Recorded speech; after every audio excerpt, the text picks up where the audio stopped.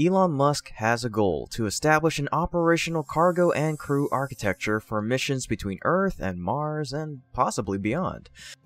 Achieving this ambitious goal requires a massive launch vehicle with a cluster of high-powered engines, a propulsion system for operation in deep space, and a propulsive landing and ascent architecture for operation in the Martian atmosphere. All this will be realized by SpaceX's Raptor engine family, and SpaceX has a very ambitious goal with the Raptor to be able to reuse it a thousand times. So, the development of these rocket engines is paramount for the future of SpaceX and the future of all space travel. And recently, Elon Musk has launched a new design of the Raptor, promising to be a great design and more efficient than the previous Raptor versions, the Raptor 2. In today's episode, let's find out about what these rocket engines are capable of, and more specifically, what is the Raptor 2, and why is it a pivotal piece of the puzzle for Starship, SpaceX, and our future travels to Mars. By the way, if you're new to our channel, we encourage you to like this video and subscribe. Don't forget to hit the bell icon to never miss an update from the world of SpaceX. Alright, let's dive into the episode. So, first off, what is the Raptor 2? Raptor 2 is the post-iterative development version of Raptor, which will have more power. Details about the Raptor 2 are murky, but the jump from the Merlin to the first iteration of the Raptor shows that SpaceX isn't slowing down with its development and growth of its one-of-a-kind rocket engines. In a recent video interview of Everyday Astronauts, Musk noted that SpaceX has produced parts of version 2 of Raptor, including the thrust chamber assembly. Teams have finished the design of the turbopumps and are expecting to be ready to fire the first Raptor 2 by the end of August. Raptor 2 will reach 230 tons of thrust at 298 bar main combustion chamber pressure. Raptor 2 has a bigger throat, which reduces the area ratio, resulting in a 3 second fall in specific impulse, but a considerable gain in thrust. Despite the lower ISP, this permits booster engines to be more efficient because gravity losses are reduced. Raptor 2 will have a far cleaner appearance than Raptor 1 due to the removal of a huge amount of piping, according to Musk. Well, as you know, the Raptor is designed to power the Starship spacecraft and the Super Heavy rocket combined with it. It's known for its ridiculous amount of power and the truly game-changing aspect, which is its reusability. Like many other engines, the Raptor burns chemical fuel to produce thrust. However, its use of liquid oxygen and liquid methane is different from nearly every other engine in the space travel field. No other rocket engine is capable of producing as much energy out of liquid methane and liquid oxygen. The use of methane is monumental and cannot be stressed enough. Most rocket engines in existence use kerosene instead of methane, but the idea of using methane makes a whole lot of sense when you look at its properties You see, methane has a higher performance than most other fuels. This means it costs less and can allow the rockets to be even smaller.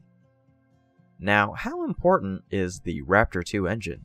Well, Raptor 2 could help enable SpaceX's crewed mission to Mars, expected sometime this decade. These engines are doing things that no other has. SpaceX's website shows the previous plan for the Super Heavy to offer thrust of 16 million pounds. Musk's comments suggest this figure could reach 17 million pounds. By comparison, the most powerful rocket to ever fly was the Saturn V. It last flew in 1973 and generated just 7.6 million pounds of thrust.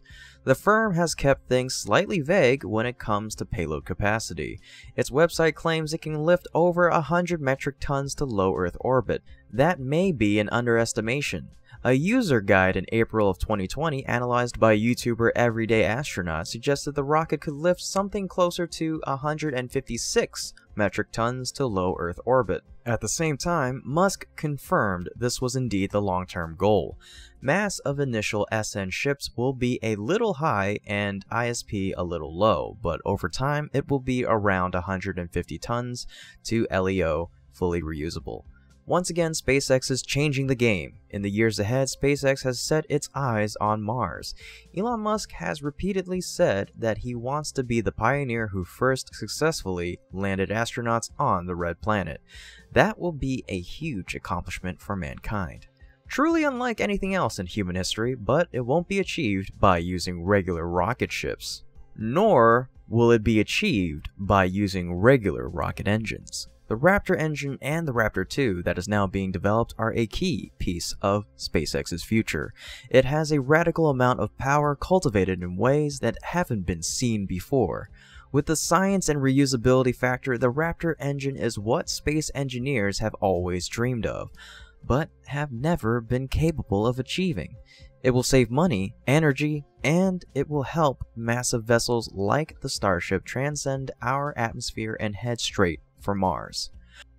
When you understand just how major and consequential the Raptor engine is, not only for SpaceX, but also for the future of all space travel, you can comprehend why Musk is pushing his company so hard to turn out these engines at such high speed.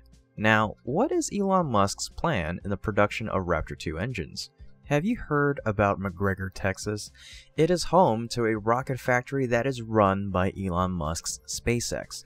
This factory was established in the sleepy Texas town in 2003 and has more than 500 employees working tirelessly on creating the rocket engines which will power SpaceX's mighty Starship.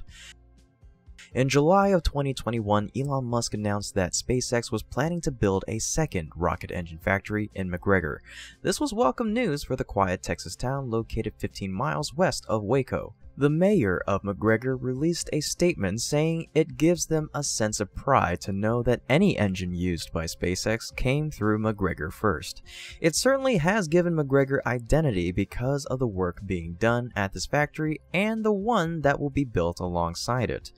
It is major and revolutionary. That's because the factory is home to tests on the Raptor engine, a radical piece of space tech equipment that is capable of immense power. The new rocket facility that will be built in McGregor will work on the Raptor 2 rocket engine. The plan is that it's going to produce one engine every 12 hours and produce 800 to 1,000 units a year, Musk said. That's a huge undertaking and underscores just how important these rockets are.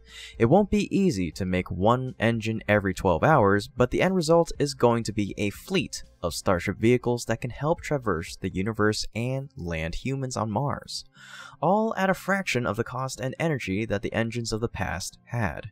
If we really expect to set foot on Mars in the next few decades, there's no doubt it's going to be because of the Raptor engine. And that's all the information we have for you today. If you like what my team and I are doing and would like to help us directly, you can become a patron through our Patreon link in the description below. And don't forget to share your ideas in the comments below so we know where to improve upon. Everyone's support will be the motivation for us to create more quality content. And as always, like, subscribe, and hit the bell so you never miss out on the next episode. This is Kevin from Great SpaceX, and I'll see you next time.